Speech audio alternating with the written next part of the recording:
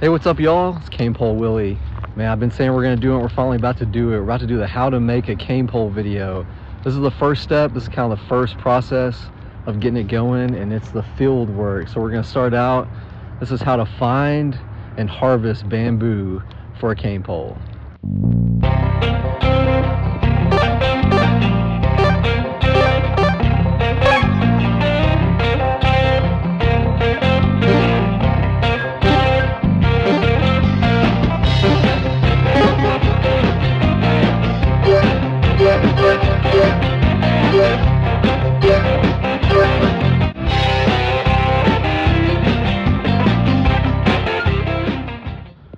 Y'all, this is the perfect time of year right now to start looking for some bamboo. You got all winter, the fishing slowed down.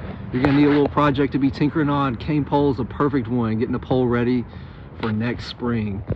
Also, the winter's great because you're gonna have all the leaves are gonna be off the tree and you're gonna be able to see in people's backyards and that's where you're gonna find the bamboo. People have these growing as like a hedge, a way to block out a busy street or a nosy neighbor in the back. People plant it all the time. It's everywhere, all across the country, all across the world. You can find bamboo in people's yards. All right, so you found some bamboo in someone's yard. Next step, just walk up, knock on the door, ask for permission. Most people aren't gonna care too much. Just be up front, tell them you wanna cut some poles for fishing. And uh, this stuff is such a voracious grower. It kind of takes over yards, so a lot of people aren't afraid to part with it. And you can get a couple poles, go ahead and cut four or five, get you a little set from a backyard and you'll be set. All right, some supplies you'll need for cutting bamboo. It's a little bamboo saw. Got this off Amazon, tiny little saw like this. A lot of people think a machete, but uh, really you don't have much backswing room. All these culms grow so close here, you don't really have a ton of swinging room. So this little saw, you can just get in there and cut one out. You gotta think, I mean, at their widest, they're about an inch and a half, so you really don't need much. Next supplies you'll need, good pair of gloves, safety first. Just a, any pair of work gloves will do. Just don't wanna cut yourself. Last thing you'll need, just a little pair of wire snips, and these are just used to cut the branches off as you go, just so you're not having to bring the whole plant off. I just like to cut them here in the field, and uh, a good little pair of wire snips seems to work the best.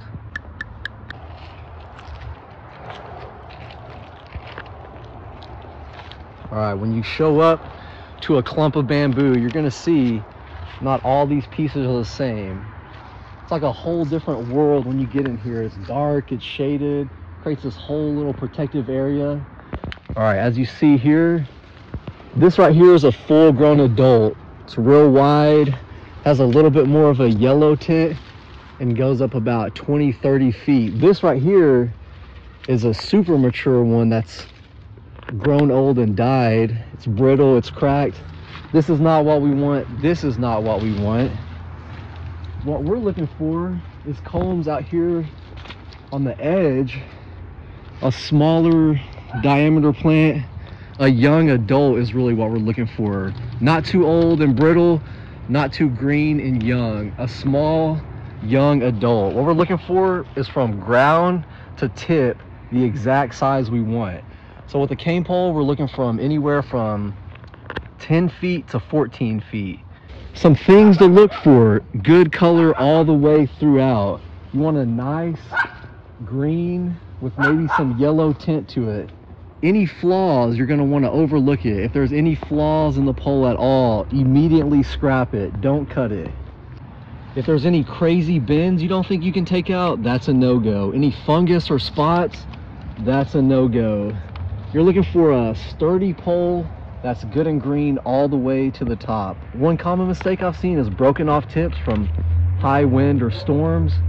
That's a no-go also. You're gonna want a good pole from ground to tip.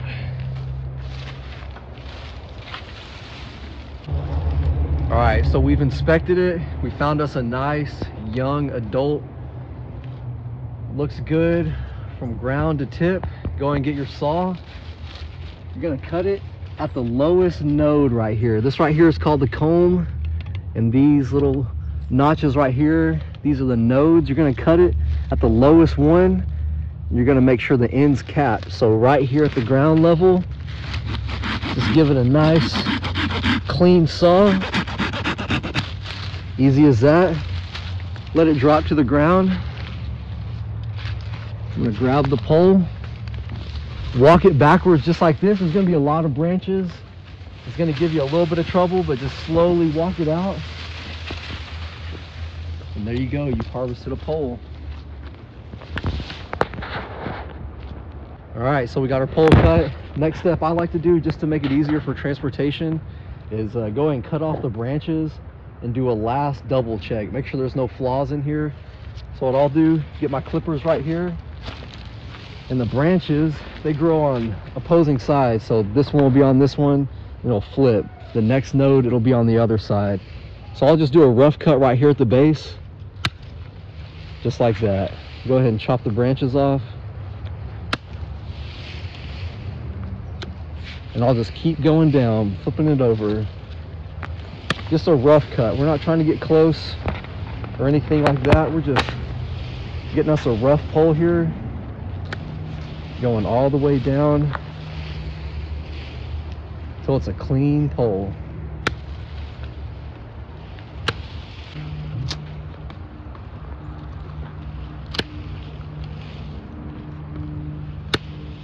All right, we're gonna go all the way to the top here.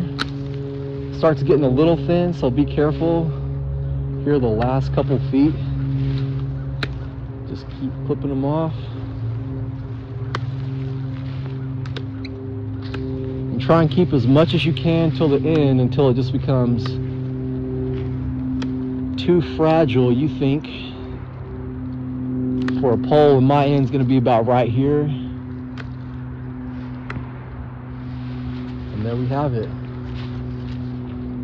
The cane pole. This one's got a weird bend in the bottom, but I think we can get that out. Be a little bit challenge on the straightening, but all right, after we got a roughed out pole here, I'll just do a second check, make sure there's no insect holes, no mold or fungus, no discoloring, no broken off tips. This one looks good though. Seems to be a good height. The height we're looking for is anywhere from 10 to 14 feet. I would suggest double your height so if you're six foot, maybe look for a 12 foot pole. If you're going for brim, bluegill, shellcracker, 10 to 12 foot. If you're uh, doing some bigger things like river smallmouth or catfish, you might be looking for a little bit of extra range. You might go on the 14 foot. But uh, it helps to bring, if you've got a cane pole with you and it's 12 feet, you can bring that with you, kind of use it as a measuring stick. But I would say anywhere from 10 to 14 and I like about 12. All right, you're gonna have a bunch of branches left over. You're not gonna wanna leave these at someone's house. I just bring some trash bags with me. I'll just bag it up to go. Make sure we're leaving a nice, clean area because uh, these people don't have to let you cut bamboo. They're letting you on your property and uh, you need to leave it better than you found it.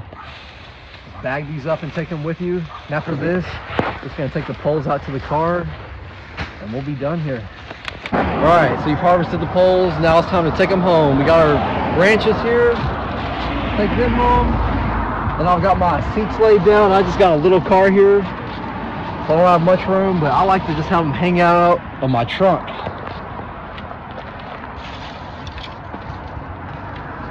My poles here. I'll slide them all the way to the front. Just have them hanging out like that. I just like to rip a little piece off the uh, trash bag. a little neon string here. Tie it on here. Hopefully they'll make it home.